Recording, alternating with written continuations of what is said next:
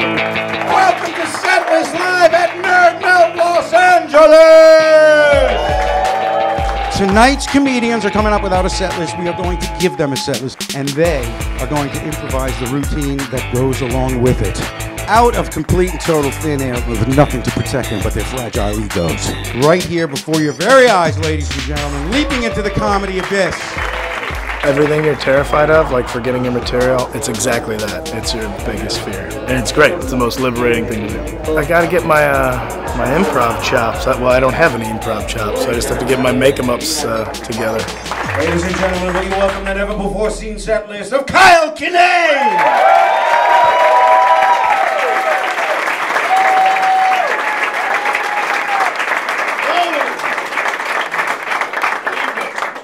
Thanks for coming.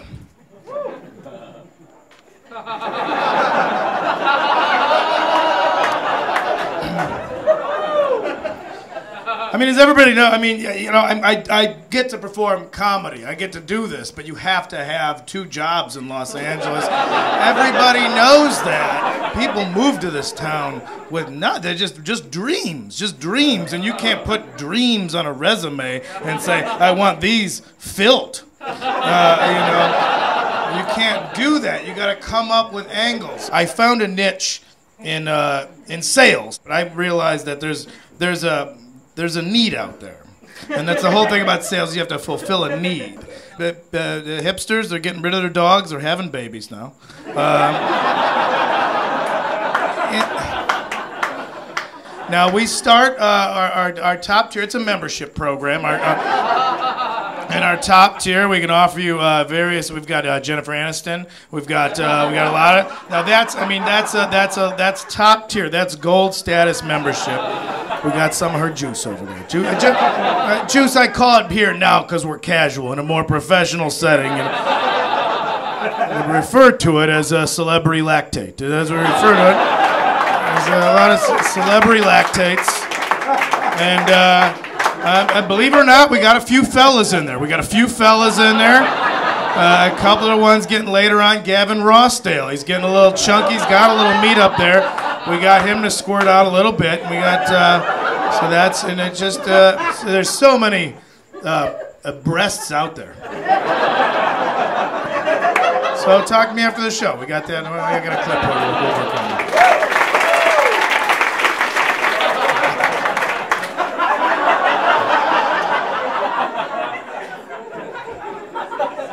Everybody, go, everybody loves a good boner joke. Am I right? Am I right? There's something. It, what's amazing is the detail. You got to give it one extra inch to let people know it's a joke. You go around with a five and a half faker. That looks real. That's that's that's gonna that's gonna lock you up. That's what's gonna you're gonna get put in a joint. You go out there with seven, everybody's like, oh, look at this guy. Look at the thing.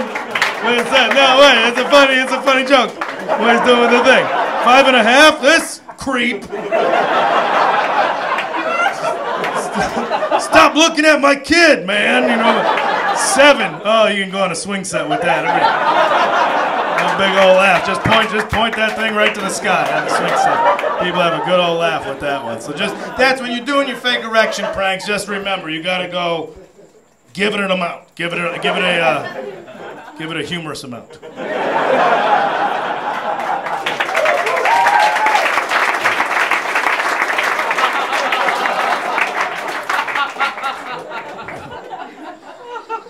I um, I am not a, uh, I'm not a God guy, but uh, I know it's that, that's that worst thing. I'm not religious, but I'm spiritual. What a horrible thing to say. What a horrible thing to say to people. But the the idea that there there is, uh, I don't look at I don't look I don't look at him for uh, uh, at him or her or it, or for any sort of uh, spiritual. It's more of just like a that's like a Wikipedia for your soul. That's how you got to look at the concept. You know, just you have questions and you want to know why. You know, why do babies die? Sometimes nobody told that baby to join a gang. You know, nobody told. Nobody told that baby. Nobody told that baby to go skydiving. They don't make harnesses for babies that size, but baby wanted to go skydiving. You ever had to say no to a baby before? Those little eyes.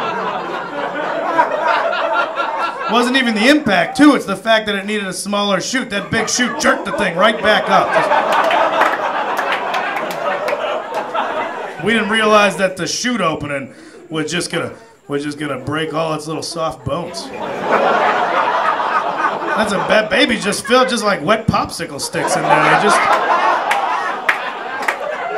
they don't even they don't even crack. You just hear a kind of creaking sound. You know? Just kind of like a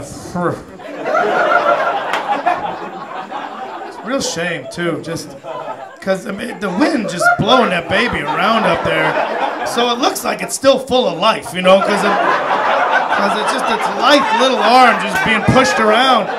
So we really we couldn't e- couldn't even tell what happened till. for me, I, be, people noticed that about 60 feet up, they're like, "Oh, something's wrong." I was like, maybe he's just getting into the the, the mellows, the spiritual side of it. You know, the Zen part of skydiving. As we all know, the Zen part of skydiving is when you just look down on that great big world. Baby didn't even know what a world was. He just came into this one, uh, but knew knew he was meant for something bigger and wanted to see it from a different perspective. I'm like, you've only been here three weeks. You don't even have perspective. And the baby threw. I mean, I understood. He was like, get me up there. So, and. Uh, yeah, and he just he just oh just tumbled just, ugh, ugh.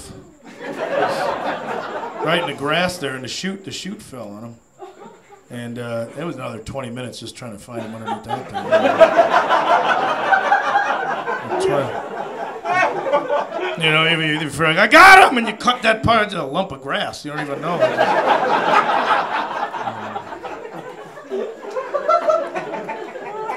and, and, and that's an in, an instant where you you know you just go why? Why? Why? Why? Why?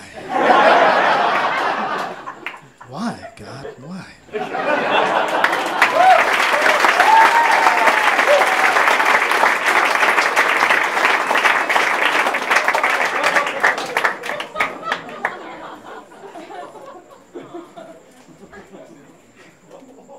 respect uh, the educational element with which this is being done.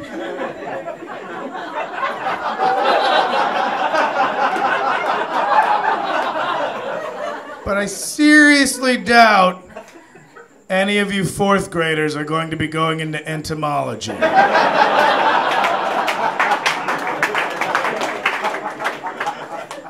Also hope I used the word entomology correctly. I thought that was the word your teacher said right before you put pins in me.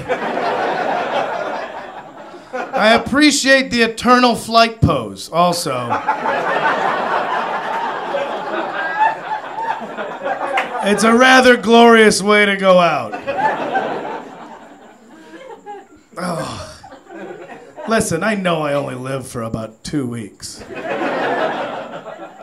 But did you see what I had to go through before? The cocoon and shit? It was a real ordeal. You know, and I just burst out and I got these wings and I got two weeks, just two weeks to use them. Just two weeks to find out what flight's all about. I'm just like a baby in a parachute up there. I don't even know. And it ended so short, so you guys could just mash me with pins and then go drink chocolate milk on a swing set later. So I'm a little bummed. I'm a little bummed at that. But, uh, but I hope you. I hope you get an A. I hope you get an A. You pulled both my wings off. Uh, very, very good. But you delicate. They're still. I can see them. They're over there. That's a good job on that. So good luck on the test, fellas. I uh, hope you do all right. All right. Thanks, everybody. Feel like 60% was, and then a couple things, but that's what it's about. Some of the some of the stuff doesn't fly.